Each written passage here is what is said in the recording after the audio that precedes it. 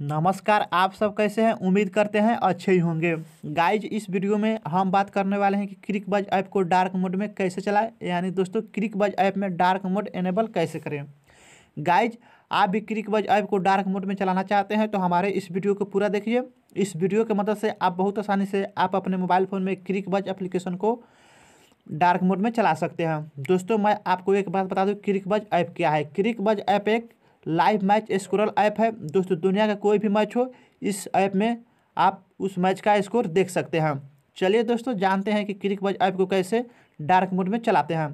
Friend, आपको क्या करना है? क्रिक बज एप्लीकेशन को ओपन करना है। जैसे गाइज़ आप ओपन करेंगे। चलिए गाइज़ यह क्रिक बज एप्लीकेशन ओपन हो रहा है। गाइज़ ओपन करेंगे तो आपके सामने कुछ ही तरह से इंटरफेस आएगा। यहाँ पर नीचे एक ऑप्शन है, मोर का। सिंपल आपको मोर पर क्लिक करेंगे। जैसे गाइज़ आप मोर पर क्लिक करेंगे, आपके सामने बहुत सारे सेटिंग आ जाएगा। आपको कुछ नहीं करना है, आपको नीचे स्क्रॉल आना है। जैसे गाइज़ आप स्क्रॉल आएँगे, यहाँ पर एक ऑप्शन है सेटिंग का सिंपल आपको सेटिंग पर क्लिक करना है। जैसे गाइज़ आप सेटिंग पर क्लिक करेंगे, आपके सामने कुछ इस तरह से इंटरफेस आएगा।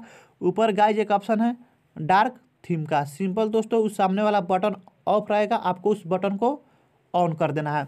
जैसे गाइज़ आप ऑन करेंगे तो आपका क्रिक बैज ऐप डार्क मोड में इनेबल हो जाएगा। देखिए guys cric badge app dark mode में कितना अच्छा लग रहा है, कितना धासु इंटरेस्टिंग लग रहा है।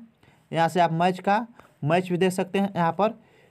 मैच का कट कट वीडियो छोटा छोटा वीडियो भी आप यहाँ से देख सकते हैं। देखिए गाइज़ कितना अच्छा लग रहा है, धासु इंटरेस्टिंग। यहाँ से न्यूज़ पढ़ सकते हैं। फ्रेंड, इसी तरह से आप क्रिक बज एप्लीकेशन को डार्क मोड में चला सकते हैं और इनेबल कर सकते हैं। अगर हमारा द्वारा दी गई जानकारी आपको कैसा लगा, कमेंट करके ज़रूर बताना। दोस्तों, अभी तक हमारे चैनल को सब्सक्राइब नहीं किए हैं तो सब्सक्राइब कर ले। तब तक के लिए जय हिंद, जय भारत।